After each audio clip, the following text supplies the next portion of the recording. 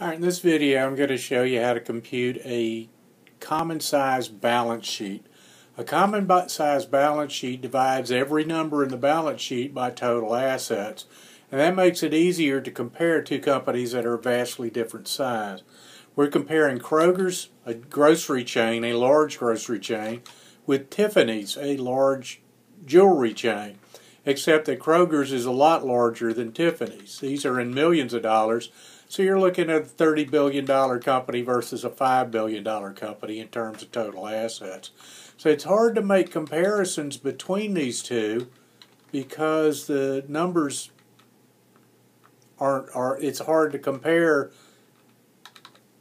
nine billion dollars here with less than one billion dollars here in long-term debt.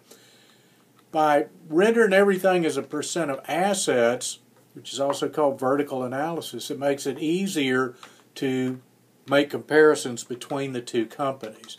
So I'm going to take all this data here, I'm just going to copy it over to the right, and then I'm going to divide everything by total assets. And I'm doing all five years at the same time.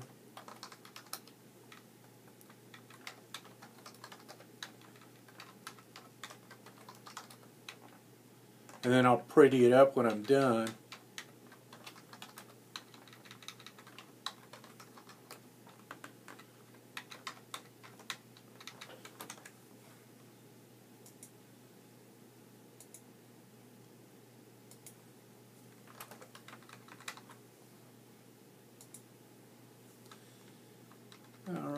So I've got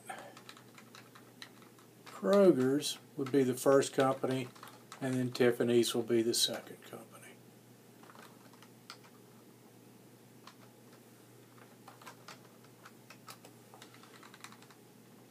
Alright, so I've got them side by side, and these are two common size balance sheets. Some of the things that it might immediately uh, rip off at you, look at the difference here. The current assets are close to 70% for Tiffany's, and it's only about 30% for Kroger. About half of Tiffany's total assets are inventory.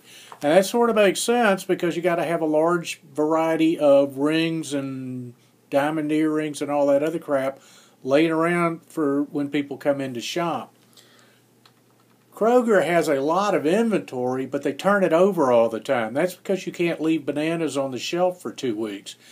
So the bread, the meat, and the fresh vegetables and the fresh milk and all the other things that they sell that are perishable has to be sold within a week or so. So they hold relatively fewer assets. They just have to replace them much more often.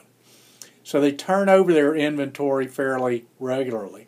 They also own a lot of buildings that they have their groceries in, and Tiffany's, on the other hand, tends to lease space in malls.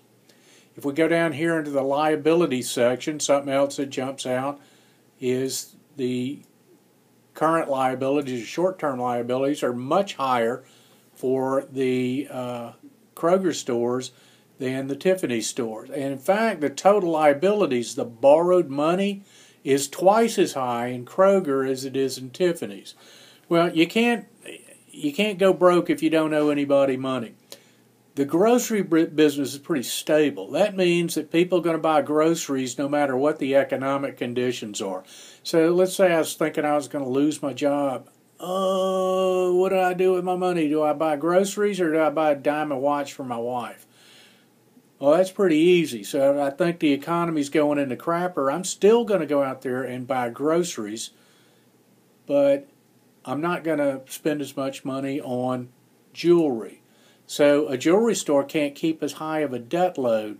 Now, it, it, works the same for people. If you thought you had a high chance of losing your job, you wouldn't borrow as much money to buy a house or to buy a car. Well, companies think a lot the same way. So Kroger can take on more debt because simply because they have a more stable business model. If we go down here into the equity, all right, so it's either debt or equity. So if there's 82% debt, it means it's 18% equity. But looking at where the equity comes from, notice this line treasury stock. That's where Kroger had issued common stock to its shareholders and it bought it back. It took it took equity out of the business, and that's uh, that's a very common thing in the uh, in the 2010s. A lot more companies are actually buying back their own shares of stock rather than making investment in new grocery stores and, and things like that. All right, so that's the common size balance sheet and income statement in a nutshell.